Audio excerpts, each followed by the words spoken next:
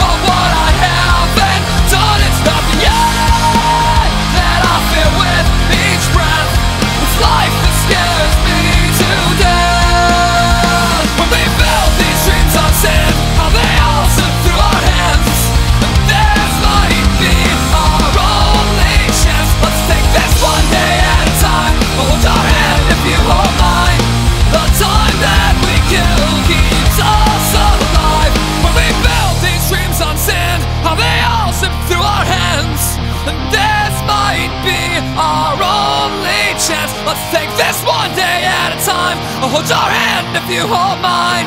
The time that we kill keeps us alive.